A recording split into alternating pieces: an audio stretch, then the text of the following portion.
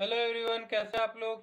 तो देखिए Chinese vessels being research of the coast of Sri Lanka amid India's concern तो इसका मतलब ये हुआ इंडिया ने कंसर्न दिखाया और जो चाइनीज़ वेसल है वो श्रीलंका के कोस्ट पे चेक हुई है।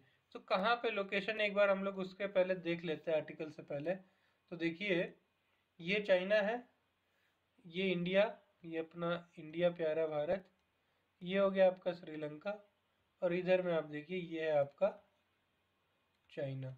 तो यहाँ से अगर कोई वेसल आई है, आप देखिए, यहीं से आएगी और यहाँ पे चेक हुई है चाइनीज़ वेसल किसके कंसर्न पे?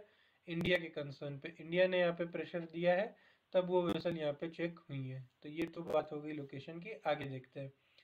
Chinese research vessel शियाम Shiyan six which arrived in Colombo Colombo क्या है आपका? श्रीलंका का कैपिटल है।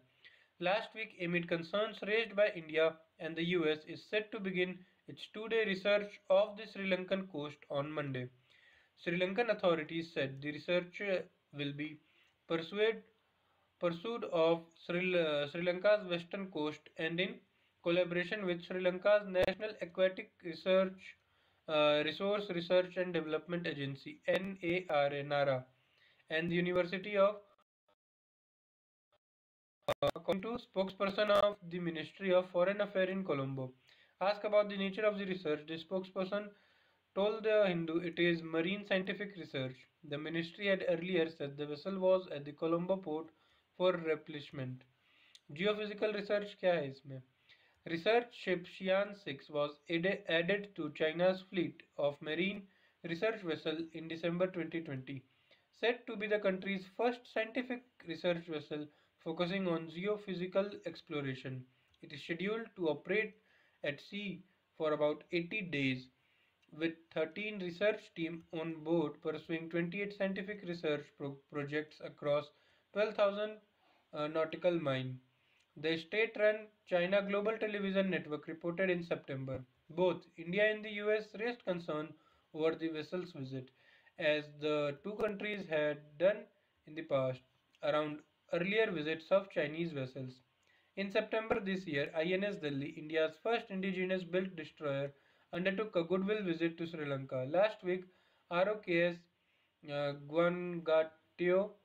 uh, the Great Korean Navy, and more recently, Japan Maritime Self-Defense Force, GMSDF destroyer AK, Bono DD-108 arrived at the tri, uh, Trincomalee Harbour located on Sri northern east coast on the official visit. अब अगर हम लोग इसमें देखें exam point of view से क्या क्या चीज़ें इंपॉर्टेंट हो रही है सबसे पहले इंडिया के कहने पे यहाँ पे चाइनीज़ वेसल आपके चेक हुए हैं पहली चीज़ तो ये यहाँ पे इंडिया का डिप्लोमेटिक इम्पोर्टेंस बताता है यहाँ पे कितना इंडिया स्ट्रांग है देखिए नारा पता होना चाहिए क्या है? NARA national aquatic resource and research development agency ये किसका है? श्रीलंका का है, ठीक है? उसके बाद से आप देखिए, ये maritime self defence force Japan का है, इसका क्या? ए के ई बोनो D D one zero eight ठीक है?